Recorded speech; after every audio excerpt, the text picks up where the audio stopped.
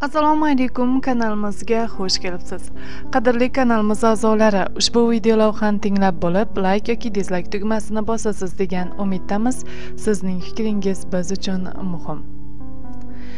Demak soch to'kilishi va uni oldini olish sirlarini ushbu video lavhamizda bilib olasiz.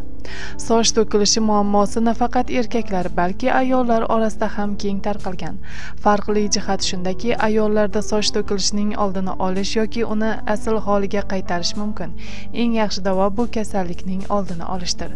Muammoni o'z vaqtida payqash va sochlarning jiddiy to'kilishi oldini olish uchun ularni e'tibor bilan kuzatib borish va parvarish qilish qilish kerak.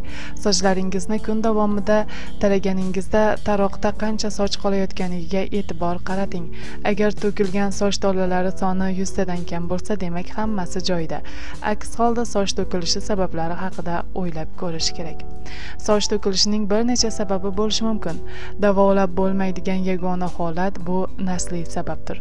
Biroq bu juda kam ayollarda uchraydi. Sochlar organizmdagi gormonal o'zgarish masalan klimaks davri yoki yoki homiladorlikda to'kilishi mumkin.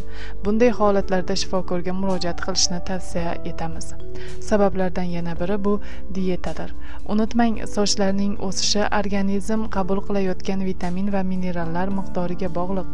Me'yorlashtirilmagan dietalar sochlarning o'z rangini yo'qotib to'kila boshlashiga olib keladi.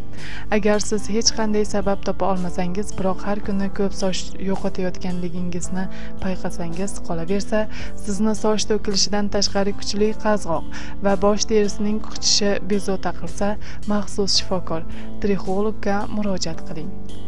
Soch to'kilishi jiddiy bo'lmagan holatlarda sizga go'zallik salonidagi muolajalar uyda qo'llash mumkin bo'lgan retseptlar va ovqatlanish rejimini o'zgartirish yordam berishi mumkin. Hozircha shular kanalimizni kuzating va doimo sog' salomat bo'ling. E'tiboringiz uchun rahmat.